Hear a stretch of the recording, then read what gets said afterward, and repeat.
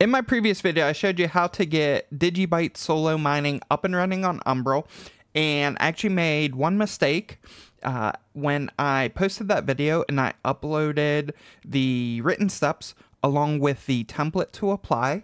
The fee was a little bit too low, and it actually doesn't it doesn't give the pool wallet enough funds to send out the payment. So I'm going to show you what it looks like if your fee is too low and what you can do to adjust it so that uh, this doesn't happen when you hit a block.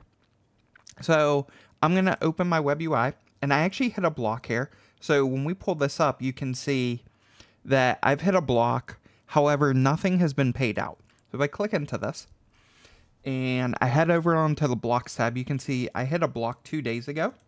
So on Thursday, I hit a block. It is fully confirmed. The reward was 277.39 digibyte. And I didn't get the payout, right? If I go to payments, there's no payout. Uh, nothing to be crazy alarmed about here. We can fix this, super simple. But the first thing we want to do is it is confirmed, so it should be in our pool wallet, but we can head on over to the getting started tab. We can click on the pool wallet address. This is going to bring up the Digibyte Block Explorer, and this is going to confirm with us, or to us rather, that we do have funds in the wallet. So we've got 277.39.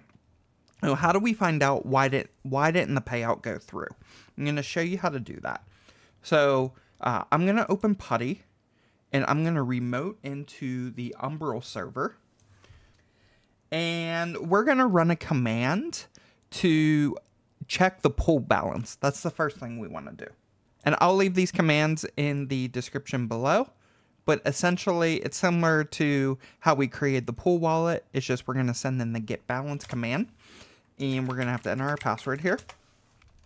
And we can see we do have 277.39. So the funds are in our pool wallet. Now, the next command we're going to run is we're going to look at the logs for uh, for mining core. Now, you can do this through the web UI, but I find it easier to just uh, run this command from the terminal since I'm already here. Basically, we're going to look at the logs and we're going to only look at the payout lines. And what we're going to see here is it tried paying out 277.39 um, to the wallet address I was mining to, but it didn't have enough funds to actually send out.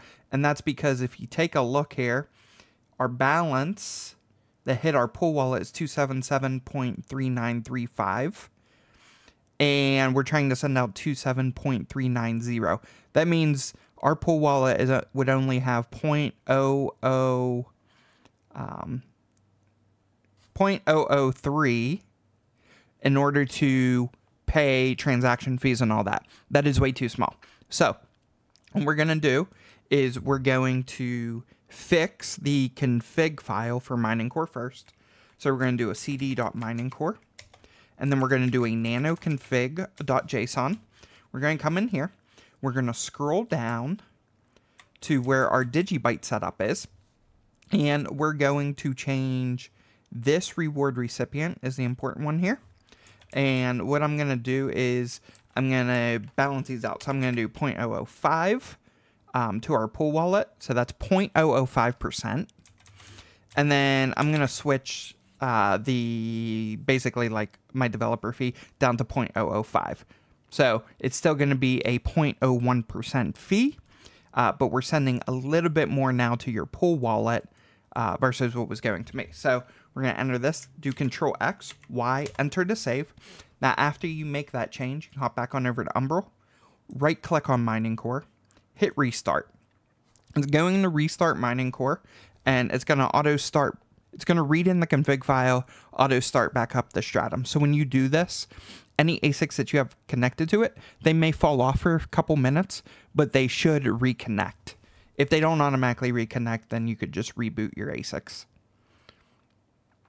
Now, uh, well, while that's restarting, we basically have two paths to get more funds into the wallet, basically, in order for it to be able to pay out. So, one method is we can just take our pool wallet address. We could send a couple digibyte to this address and everything would be fine. the other option is we can manipulate the database so that that first payout is a little bit lower to our wallet. And that's the path I'm going to take just so I can show you guys how how you could adjust that down in, on the database side and then have it send out um, and not have to worry about constantly refunding the uh, or reallocating funds to your pool wallet. Now, on an ongoing basis, as more blocks are found, uh, the pool wallet will get a little bit more dust in it to pay for those transaction fees in the future. Uh, but we just had that fee set a little bit too low. So uh, if we hop back on over here, we can see that we are still sitting at a 0.01% fee. So our fee hasn't gone up, just that distribution has. Um, so now we're going to go back to Umbrel. I'm going to open Postgres and copy the username here. And We're going to say open. I'm actually already logged in. So we're going to, if you're not already logged in, you just enter your username and password to log in. And then we're going to go to Mining Core. We're going to expand servers, databases, Mining Core, expand schemas. Then we're going to expand tables. We're going to come down to the balance one. We're going to right click on it. You can just do view and edit data. And then you can just do all rows if you want. In this case, we've only hit one block. That hasn't been paid out. So our balance is, um, there's only going to be one record for our balance anyways, uh, because we only have one mining address we're mining to. So we're going to come in here and we can double click on this and we can adjust the amount. So what I'm going to do is I'm going to adjust this down to, let's just say 277 even. Hit enter. And then the important thing you want to do here is click this Save Data Changes button, right? Then we can run our query, and we can see we're now down to 277 in that wallet. Now, uh, by default, the payment processor runs every 10 minutes, I believe it is. So we're going to wait a few minutes, and then we're going to validate that our payout happens. So I showed you how to do it in the terminal. I'll also show you how to do it on the web UI if that's something that you would prefer. You can come over to uh, go to Mining Core Server. You're going to click on this one, and you're just going to do Control F, and then you're going to type uh, pay. They can basically do the payout handler. And you can see the last time it ran was at 227, which was three minutes ago. Uh, so we do have to give this um, a little bit.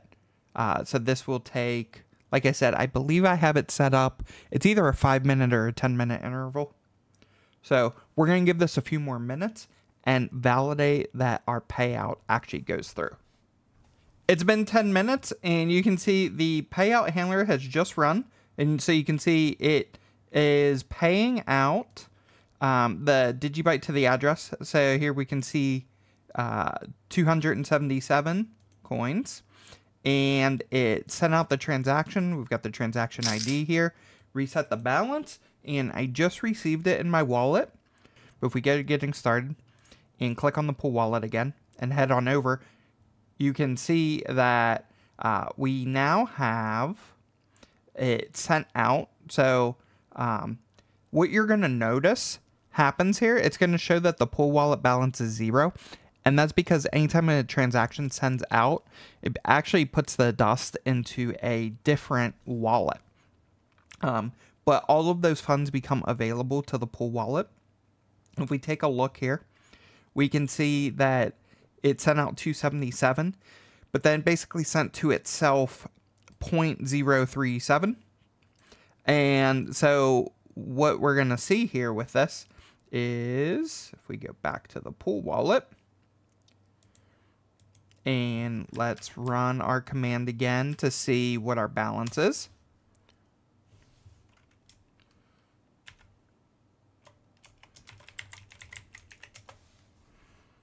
We have 0.37 available. So those are the funds that are there now. So that is what is available to send out. So uh, everything looks good. It's processing uh, the transactions as it should be. Uh, so we are good now. Next time block gets hit, we'll get that 277 or whatever the block reward is at that time. And it'll have enough to send out that payment with hopefully something like this in, um, you know, left over so that we always have a little bit in the wallet, but not a whole lot. So that's kind of the idea here with this pool holding wallet. You know, that's how you fix it. Again, the easiest way is just to send a couple coins to it um, to get it funded. But the important thing is make sure you update that config file to be a little bit higher percentage. So I did 0.005% in this case. And then, uh, you know, just make sure you do that and restart the Mining Core app after you make changes to that file. If you do not restart the Mining Core app, it will not pick that up.